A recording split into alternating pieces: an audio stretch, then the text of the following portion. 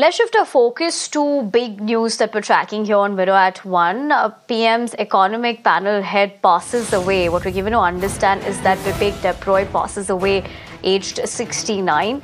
In fact, Prime Minister Modi condoles Debroy's passing and Bengal Chief Minister condoles uh, Debroy's death as well. So that's unfortunate news.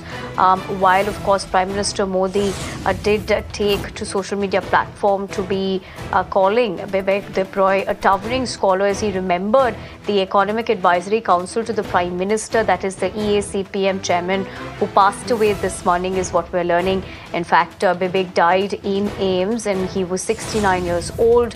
Uh, Prime Minister, in fact, said that Bibek was well versed in diverse domains like economics, history, culture, politics, and spirituality, and left an indelible mark on India's intellectual landscape through his works.